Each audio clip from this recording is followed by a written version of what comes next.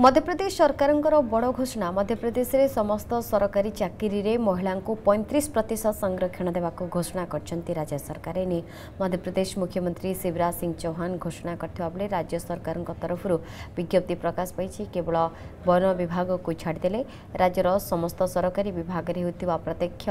नियुक्ति क्षेत्रले यो नियम लागू लाग स्पष्ट सूचना मिले उभय लोकसभा राज्यसभा विधानसभा महिला म तेतिस प्रतिशत संरक्षण देव बिल पारित हुसिति ଥିବାବେଳେ ଏହି କ୍ଷେତ୍ରରେ ମଧ୍ୟପ୍ରଦେଶ ସରକାର ଦୁଇ ପାଦ ଆଗରେ ରହିଛନ୍ତି ମଧ୍ୟପ୍ରଦେଶ ଦେଶର ପ୍ରଥମ ରାଜ୍ୟ ଯିଏକି ପଞ୍ଚାୟତ ଓ ମ୍ୟୁନିସିପାଲିଟି ନିର୍ବାଚନରେ ମହିଳାଙ୍କ ପାଇଁ ପଚାଶ ପ୍ରତିଶତ ଆସନ ସଂରକ୍ଷଣ ବ୍ୟବସ୍ଥା କରିଛି